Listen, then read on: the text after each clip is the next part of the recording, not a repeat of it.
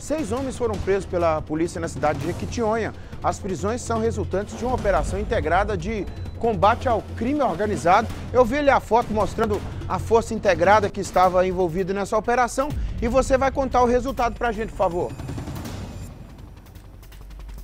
Isso, Nico. Eram as polícias civil, militar e penal.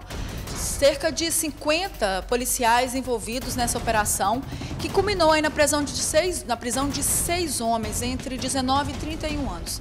De acordo com a polícia, esses homens eles seriam criminosos perigosos. Eles estariam envolvidos com o crime organizado com fichas extensas aí, passagens pela polícia por tráfico de drogas, homicídio e tortura. Então essa operação foi deflagrada na cidade de Jequitinhonha, com todas essas forças aí de segurança, que mais uma vez deram resposta para a sociedade de que estão atentas, de que estão trabalhando, né? A população está ficando mais segura com o trabalho da polícia.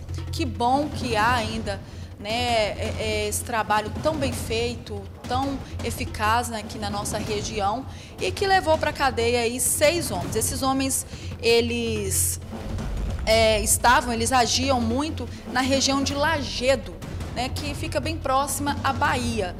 E agora, né, vão aí dar explicações à justiça. Nico. A justiça agora, né? E que eles respondam lá. Obrigado, viu, Alessandra?